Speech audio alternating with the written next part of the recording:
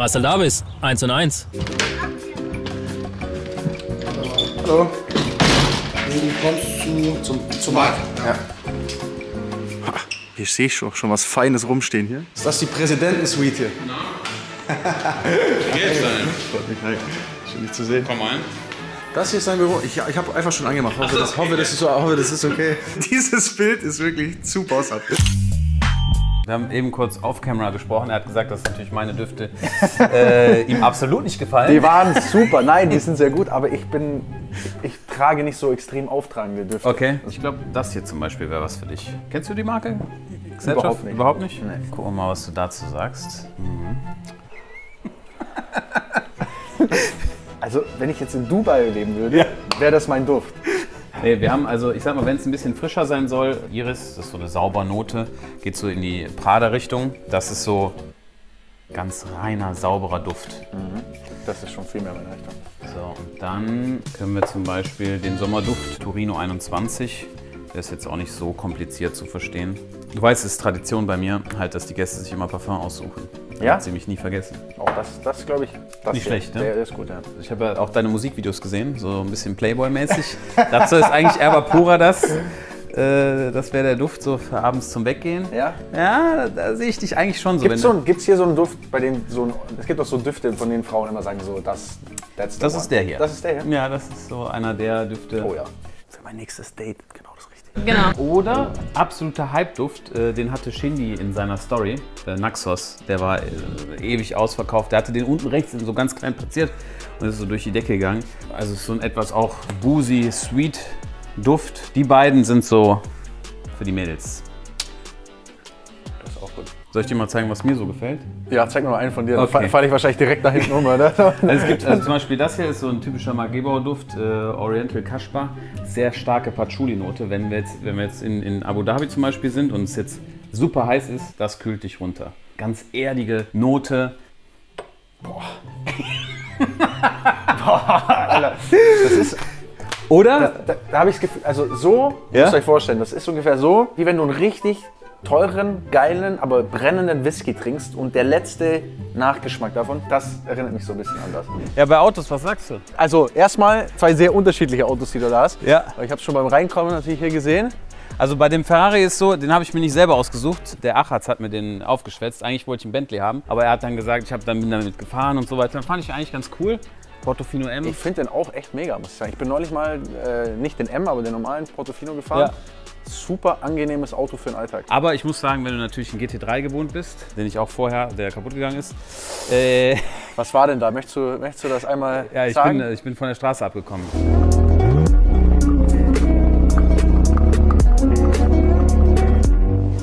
Das war blöd. Dann aber dir ist nichts passiert, ne? Mir ist, es- mir ist Gott sei Dank nichts passiert. Aber du merkst schon, bei diesem Front-Mittelmotor, der ist viel unruhiger. Ja. Also wenn ich hier mit schnell fahre, pff, also ich kann fast gar nicht damit schnell fahren, weil das so, ich habe das Gefühl, der, der zieht so weg. Ja. Und bei dem GT3 war das einfach, du warst wie auf einer, Aber das ist auch generell einfach, Porsche hat so eine unglaubliche Sicherheit. Also du steigst ein und du fühlst dich immer so, na, es ist perfekt alles und so ein Ferrari ist ein bisschen bissiger, der ist immer so, ich. so un, unkontrollierbar. Ja. Du denkst immer da vorne, Alter, Ja. Es gibt dann Leute, die sagen, ja, das hat mehr Charakter, ne? weil gerade wenn man das halt möchte, zum Beispiel, das ist wie Audi und BMW. Ein Audi kann jeder fahren, weil der sehr einfach Mhm. ist und so ein BMW neigt dazu, halt so ein bisschen sportlicher, aggressiver zu sein, aber mit so einem BMW machst du halt auch viel schneller was falsch. Ja. So, und deswegen gibt es halt da so unterschiedliche Geschmäcker. Ne? Hast du die äh, Folierung selber gemacht? ja. Okay. Ey, wenn du jetzt was dagegen sagst, ne? Nein, ich finde. Wenn du jetzt was dagegen sagst, dann raste ich komplett Ähm. aus hier. Ne, ich finde, die ist okay. Ja? Ja, die ist okay. War aber, da, da- das ist der Lack, oder? Hier. Nee, äh, rot. foliert? Innen drin ist rot. Warte, ich kann mal Schlüssel holen.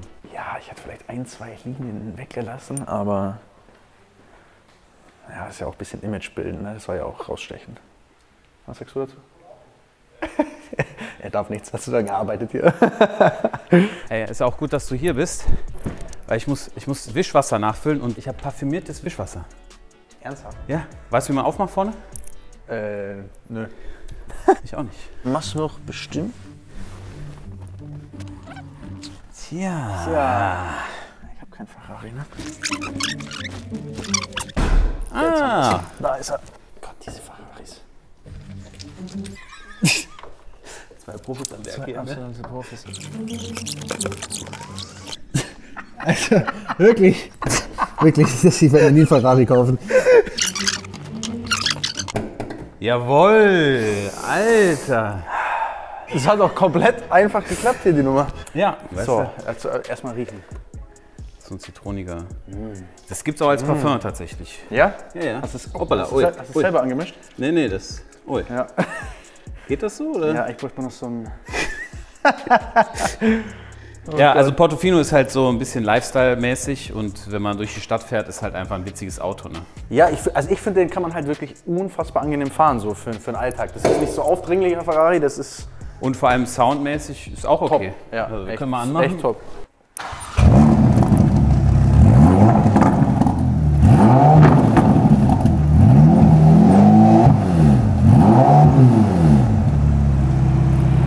Schon geil, sehe ich gerade erst dieses Bild hier, oh mein Gott. Was, was sagst du echt zu. Also, Also, finde sie schon gut, ne? ja, und jetzt äh, neben dem äh, Sportwagen haben wir halt jetzt hier noch ein äh, etwas Etwas größeres, Auto. Ne? größeres Auto. Warum ist der noch nicht gebrandet mit Doch. Streifen und Mark Gebauer? Magebo. Ach so, oh doch, da oben. Und hier auch. Und vielleicht vorne, äh, guckst du mal, was vorne für ein Logo ist. Nein! Okay, okay. Big Flex, das hier. Okay, ich nehme alles zurück. Der fährst du im Alltag wahrscheinlich nicht, ne? Das, äh, doch, doch, ist mein Ja? Alltagsauto. Doch. Das ist dein Alltagsauto. Wenn ich jetzt nach Düsseldorf fahre oder so, dann nehme ich den meistens. Und wo parkst du den an? Also das ist eigentlich sehr komfortabel. Wenn man so ein großes Auto hat, kann man es überall abstellen. Also der hat eine LKW-Zulassung und man kann eigentlich überall halten. Ja? Kann ja eh keiner abschleppen. Das ist der Trick. Aber ich muss eine Sache sagen, die Amis, ne, die haben es schon wirklich drauf, wenn es so um Kleinigkeiten geht, so mit, weißt du, so Handyhalter und so weiter. Das ist schon geil Das gemacht. machen die gut, ja. Das machen die tatsächlich gut. Ne? So Cup, aber so Alltagsdinger, ne? so Cup-Halter und sowas. Hat der hier, ich mach mal schnell auf. Die haben halt immer super viele Nutzflächen auch, ne? so Stauflächen. Aber die haben auch viele Dinge, mit denen sie es nicht so drauf haben. Ja, Sagen aber guck mal, ehrlich. zum Beispiel hier hinten, wir brauchen das halt auch zum Transportieren. Ne? Also das hier, das ist schon, muss ich sagen, das haben die schon gut gemacht. Ja. Ja, und dann hat man hier noch so, so Schmuggelfächer und so weiter. Das ist schon cool. Kommen da die Uhren rein? Aber SUV ist bei dir nie so ein Thema, ne? Ja, jetzt nicht in der Größe, aber wir machen ja RS, RSQ8 haben wir ja viel. Ja. Und so ein bauen wir bald. Ah, okay. Ja, und jetzt, wo, wo sind die Uhren versteckt? äh, willst du ein paar Uhren sehen? Ja. Ah, okay. Ich habe äh, natürlich für das Video ein bisschen was vorbereitet. So aktuell die Uhren, die mir persönlich auch am besten gefallen. Dann zeige ich, äh, hole ich mal ein bisschen was. Oh, bin gespannt. Eine Uhr habe ich bei dir gekauft mal, ne? Aber, äh, Bei mir? Ja, eine habe ich mal bei dir gekauft. Aber die war nicht für mich. Stimmt, die hast du verschenkt, ne? Hab ich, die habe ich verschenkt an meinen Mitarbeiter des Monats. Jedes kommt in deinen Vlog rein. Ich schwöre, ich hau dir die Fresse rein. Zeig Okay. mir mal was Schönes. Und muss ja jetzt auch vielleicht noch mir irgendwas andrehen. Ach so. Zum Ja, da- Listenpreis versteht sich. Ja, klar. Also ich sag mal so, die Uhr, die, die du eigentlich haben musst, gerade so Thema auch Leichtbau und sowas alles, ne? Einfach, dann sag ich mal, müsste eigentlich sowas zu dir. Du bist ein junger Typ, sportlicher Typ, weißt du? Ich sag dir ehrlich, ich habe den ganzen Richard Mill-Hype, ich habe den irgendwie ein bisschen verpasst. Darf ich mal anziehen? Ja, klar. Das ist jetzt die Johan Blake, also die hat so ein ähnliches Werk wie die äh, Barbara Watson. Man kann auch durchschauen. Und äh, ja, ist auf jeden Fall eine Uhr, die man nicht so oft sieht. Äh, war eine limitierte Produktion, also die wird nicht mehr Darf gebaut. die- So, ein- Spannmechanismus hier. So, zack. Ich, fühle ich, also abgesehen davon, dass sie natürlich super leicht ist und Ja. so, farblich so wäre das einfach, das wäre nicht meins, muss ich sagen. Ja, es gibt, ich. noch- man kann auch ein schwarzes Band dran machen, aber je, je bunter Richard Mill Uhren sind, immer desto teurer. Desto beliebt, äh, ja, ist so, ne? Was kostet die jetzt? Die liegt bei 320.000. Muss dann auch mal, muss dann auch mal gehen. Auf der Gamescom hatte ich die ja auch an einem Tag an. Du warst ja auch gut bewacht, warte mal. Ja, wir blenden genau. das mal kurz ein, was da los war. Da waren ein, zwei Leute, waren da vielleicht da.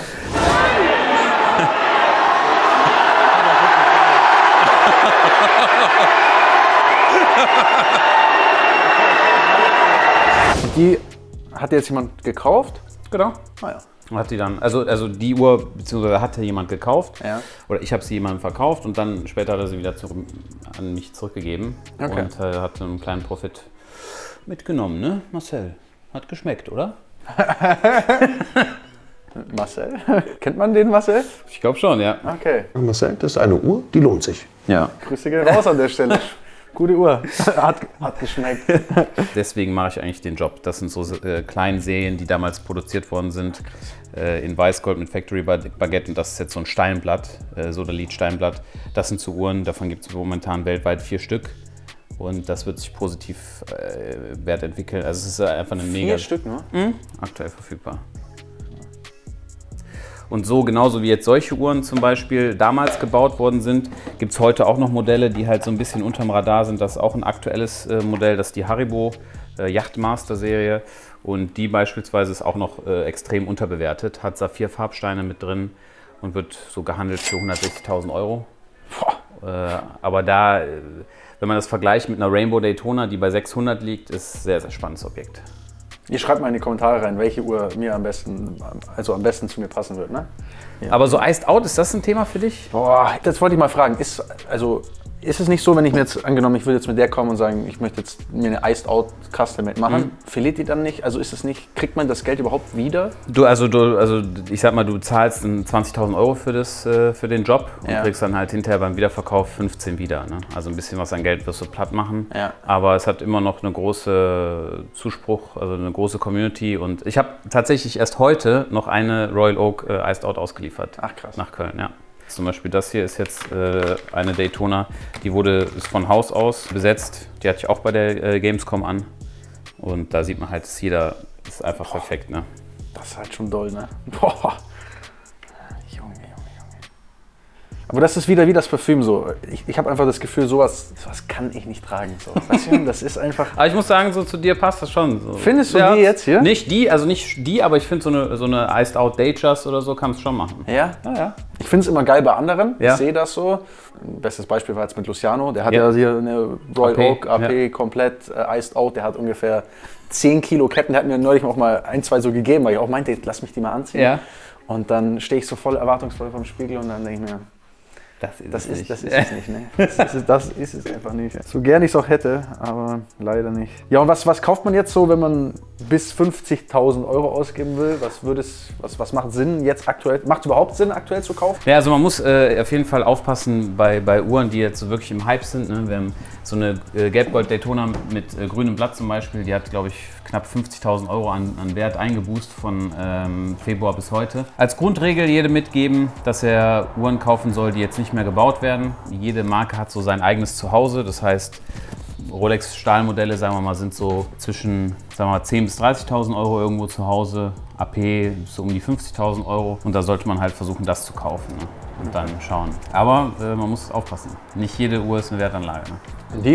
Ist das eine Wertanlage? Also die Uhr, das ist zum Beispiel eine Uhr, muss ich ganz ehrlich sagen, wenn jetzt jemand einen Schnapper machen möchte, äh, AP Royal Oak Modelle, naja, also, Wenn ihr ein richtiges Schnäppchen machen wollt, Nein. also mal eine richtig billige Uhr kaufen, dann eine Uhr. Nein, weißt du warum? Und zwar, das ist jetzt eine äh, 50th Anniversary, die 37 mm. Und das Krasse ist, AP ist so abgestürzt und die neuen Modelle, die wird ja nur in diesem Jahr mit diesem Rotor produziert. Und die Uhren sind absolut günstig gerade im Moment zu haben. Also bei AP kann man jetzt gut einsteigen. Die waren, ab, die waren richtig im Hype. Ja. Äh, Und jetzt sind sie preislich runtergegangen. Also Audemars PG, wenn man äh, als Haltezeit, so sagen wir mal, drei bis fünf Jahre vorsieht bei einer Uhr, kann man jetzt gut kaufen. Also Leute, gibt es einen Rabattcode? ja, und dein nächstes Auto ist ein. Genau, also warum, warum du auch hier bist. Ja. Äh, Ich wollte mir die Kompetenz äh, einkaufen. Ja. Und zwar, ähm, wir werden jetzt äh, den GT3 RS konfigurieren, weil ich nicht so viel Ahnung habe. Du schon. Und äh, das. Ich hoffe erstmal, dass ich auch einen bekomme an der Stelle. und bin stinksauer. Das Ärgerle zugelagert bin ich nicht, aber okay. Von daher, äh, wir wechseln, würde ich sagen, zu meinem Kanal rüber Ja. und äh, dort werden wir Profi. den GT3 RS äh, konfigurieren. Ich habe gar keine, also es soll auf jeden Fall Weißach-Paket sein, aber alles andere liegt in deiner Hand. Ja, das machen wir. Marc, vielen Dank. Schön war's. Euch einen wunderschönen guten Tag und äh,